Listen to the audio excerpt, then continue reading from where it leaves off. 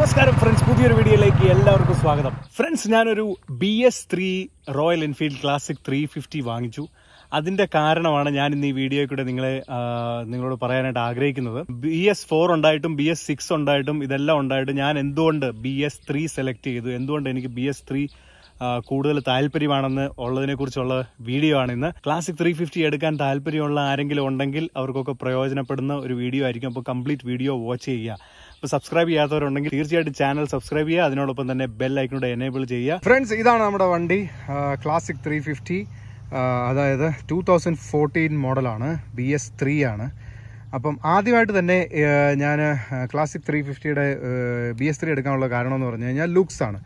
Looks പരമായിട്ട് ഇത് B S three എടുത്താലും ബി എസ് ഫോർ എടുത്താലും പുതിയ ബി എസ് സിക്സോ ഏത് വെർഷൻ എടുത്താലും നമുക്ക് സെയിം ഒരു ലുക്ക് തന്നെയാണ്. ഏകദേശം ഒരേ ഒരു ലുക്ക് തന്നെയാണ് കിട്ടുന്നത്. ആ ഒരു ഓൾഡ് ക്ലാസിക് ത്രീ ഫിഫ്റ്റി ലുക്കാണ് ഇതിന്റെ ഒരു ഹൈലൈറ്റ് എന്ന് പറഞ്ഞു കഴിഞ്ഞാൽ. ഇതിനു മുമ്പ് എന്റെ തണ്ടർബേർഡ് ഫൈവ് ഹൺഡ്രഡ് ഉണ്ടായിരുന്നു ബി എസ് ഫോർ പക്ഷേ എങ്കിൽ തന്നെ ഈ ക്ലാസിക്കിന്റെ ലുക്സ് ആണ് കുറച്ചുകൂടെ ഒരു ടൈംലെസ് ലുക്ക് എന്ന് എനിക്ക് തോന്നി. അടുത്തായിട്ട് ഫ്രണ്ട്സ് ഈ Classic three fifty B S three എടുക്കാനുള്ള കാരണം എന്ന് പറഞ്ഞു കഴിഞ്ഞാൽ ഇതിന്റെ വിലയാണ്. അതായത് ഇപ്പോഴത്തെ മോഡൽ നമ്മൾ ക്ലാസിക് ത്രീ ഫിഫ്റ്റി ഒക്കെ എടുക്കാൻ ചെന്ന് കഴിഞ്ഞാൽ മിനിമം ഒരു രണ്ടര ലക്ഷത്തോളം ഓൺ റോഡ് കൊടുക്കേണ്ടതായിട്ട് വരുന്നുണ്ട്. അതേസമയത്ത് അതേ സമയത്ത് നമ്മൾ ബി എസ് ത്രീ മോഡലുകളിലേക്ക് പോയി കഴിഞ്ഞാൽ ഒരു സിക്സ്റ്റി തൗസൻഡ് മുതൽ ഒരു എയ്റ്റി തൗസൻഡ് ആ ഒരു റേഞ്ചിൽ നമുക്ക് ഈസി ആയിട്ട് കിട്ടുന്നതായിരിക്കും. അപ്പം നമ്മുടെ നമുക്ക് കിട്ടുന്ന വണ്ടിയുടെ കണ്ടീഷൻ പോലെ ഇരിക്കും. തീരെ മോശമായിട്ടുള്ള കണ്ടീഷൻ ആണെങ്കിൽ ഒരു സിക്സ്റ്റി തൗസൻഡ് റേഞ്ച് നമുക്ക് കിട്ടും. ഇല്ലെങ്കിൽ നല്ല കണ്ടീഷൻ ആണെങ്കിൽ ഒരു എയ്റ്റി തൗസൻഡ് റേഞ്ച് വരെ നമുക്ക് നല്ല കണ്ടീഷനിൽ Classic three fifty B S three കിട്ടുന്നതാണ്. അപ്പോൾ ആ രീതി നോക്കുകയാണെങ്കിൽ വളരെയധികം കാശ് നമുക്ക് ലാഭിക്കാൻ സാധിക്കും. ബി എസ് ത്രീ എടുത്തു കഴിഞ്ഞാൽ നല്ലൊരു കണ്ടീഷനിൽ അടുത്തായിട്ട് ഫ്രണ്ട്സ് ബി എസ് ത്രീയുടെ ഹൈലൈറ്റ് എന്ന് പറഞ്ഞു കഴിഞ്ഞാൽ സൗണ്ട് ആണ്. അതായത് എൻജിൻ സൗണ്ട് ആണെങ്കിലും ഇതിന്റെ സൈലൻസറിന്റെ ഒറിജിനൽ സൈലൻസറിന്റെ സൗണ്ട് ആണെങ്കിലും ഒരു പക്ക ഒരു റോയൽ എൻഫീൽഡിന്റെ ആ ഒരു സൗണ്ട് ഇഷ്ടപ്പെടുന്നവർക്ക് ഇഷ്ടപ്പെടുന്ന രീതിയിലുള്ള സൗണ്ടാണ് ഞാൻ നിങ്ങളെ കേൾപ്പിച്ചു തരാം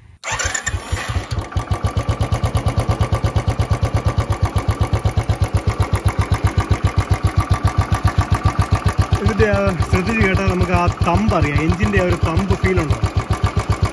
ആ പുഷ് റോഡിന്റെ ആ ഒരു തമ്പ് ഫീൽ നമുക്ക് ശരിക്കും അറിയാൻ പറ്റും ബി എസ് ത്രീ മോഡലിൽ പിന്നെ സൈലൻസർ ഇത് ഒറിജിനൽ സൈലൻസർ തന്നെയാണ്. കുറച്ച് പഴകിയിട്ടൊക്കെ ഉണ്ട് കാര്യങ്ങളൊക്കെ ഉണ്ട്. എന്നാലും നമുക്ക് ആ സൈലൻസറിന്റെ സൗണ്ട് എന്ന് പറഞ്ഞാൽ ഉണ്ടല്ലോ. ഒരു പക്ക ബുള്ളറ്റിന്റെ ആ ഒരു ബേസ് നമുക്ക് ഇതിനകത്ത് കിട്ടാൻ സാധിക്കും.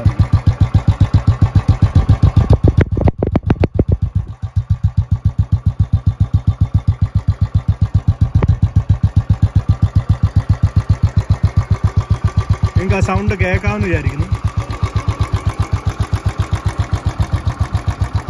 പുതിയ ബി എസ് ഫോർ ആണെങ്കിലും സിക്സ് ആണെങ്കിലും നമ്മൾ എടുത്തു കഴിഞ്ഞാൽ സ്റ്റോക്കായിട്ട് എൻജിന്റെയും സൈലൻസിന്റെ സൗണ്ട് വളരെ കുറവായിരിക്കും. അപ്പം അതിന്റെ ഒരു കുഴപ്പമെന്ന് പറഞ്ഞാൽ നമുക്ക് ആ ഒരു ബുള്ളറ്റ് ഫീൽ നമുക്ക് സാധിക്കത്തില്ല. അതിനോടൊപ്പം തന്നെ നമ്മൾ സൈലൻസർ ചേഞ്ച് ചെയ്യാൻ പോയി കഴിഞ്ഞ് കഴിഞ്ഞാൽ അതിന് നല്ല ഒന്നാന്തരം തരം ചലാൻ നമുക്ക് പോലീസ് അടിച്ച് കൈ തരും. അതുകൊണ്ട് ബി എസ് ത്രീ ആയതുകൊണ്ട് ആ ഒറിജിനൽ സൈലൻസറിൽ തന്നെ ഉള്ള സൗണ്ട് ധാരാളം നമുക്ക് ഇനഫാണ് അടുത്തായിട്ട് തന്നെ നമ്മൾ നോക്കുമ്പം ഈ ഒരു സ്വിച്ച് ഗിയർ ഉണ്ടല്ലോ ഈ ഹെഡ്ലൈറ്റിന്റെ ഓൺ ആക്കുകയും ഓഫ് ആക്കുകയും ആ, ചെയ്യുന്ന ഈ ഒരു ഈ ഒരു സ്വിച്ച് തന്നെ അവർ കമ്പനി എടുത്തു കളഞ്ഞിരുന്നു. ബി എസ് ഫോറൊക്കെ വന്നപ്പോഴത്തേക്ക്. അപ്പം ആ ഒരു രീതി നോക്കുമ്പോഴത്തേക്ക് ബി എസ് ത്രീയിൽ നമുക്ക് ആ സ്വിച്ചും ഉണ്ട്. ബി എസ് ഫോറൊക്കെ നമ്മൾ പഴയത് എടുത്തു കഴിഞ്ഞാൽ ഈ സ്വിച്ച് കിട്ടത്തില്ല. പിന്നെ എപ്പോഴും ഫുൾ ടൈം ലൈറ്റ് ഓണായി കിടക്കും. അപ്പോൾ ആ ഒരു പ്രശ്നമുണ്ട്. ഇതിനകത്ത് ആ ഒരു പ്രശ്നം വരുന്നില്ല. അപ്പോൾ നമുക്ക് ഇഷ്ടമുള്ള അനുസരിച്ച് നമുക്ക് ബാറ്ററി സേവ് ചെയ്യാനായിട്ട് ലൈറ്റ് ഓഫ് ചെയ്യുകയും കാര്യങ്ങളൊക്കെ ചെയ്യാൻ സാധിക്കും. അങ്ങനെ ഒരു പ്രയോജനം ഇതിനകത്തുണ്ട്. ഫ്രണ്ട്സ് അടുത്തായിട്ടുള്ള ഒരു കാരണം ഞാൻ ബി എസ് ത്രീ എടുക്കാനുള്ള കാരണം എന്ന് പറഞ്ഞു കഴിഞ്ഞാൽ നമ്മുടെ ഈ കാർബറേറ്ററാണ് അതായത് ഇപ്പോഴത്തെ മോഡൽസിൽ ലേറ്റസ്റ്റ് മോഡൽസിലൊക്കെ നമ്മുടെ ഇ എഫ് ഐ ആണ് വരുന്നത്. ഇലക്ട്രോണിക് ഫ്യൂവൽ ഇഞ്ചക്ഷൻ ആണ് വരുന്നത്. അപ്പം ഫ്യൂവൽ പമ്പും കാര്യങ്ങളുമാണ് വരുന്നത്. അതിനകത്ത് ഈ നോബും കാര്യങ്ങളും ഒന്നും വരത്തില്ല. അപ്പോൾ റിസർവ് ആവുമോ ഇത് ചെയ്യുന്ന ഇതിലൊന്നും നമുക്ക് നോബ് മാറ്റാനും പെട്രോൾ ഇപ്പോൾ നമുക്ക് എന്തെങ്കിലും ഒരു ആവശ്യം വന്ന് പെട്രോൾ ഊറ്റി മാറ്റണം ടാങ്ക് ക്ലിയർ ആയിട്ട് അങ്ങനത്തെ കാര്യങ്ങൾക്കൊക്കെ ഈ ഒരു നോബ് കാണത്തില്ല.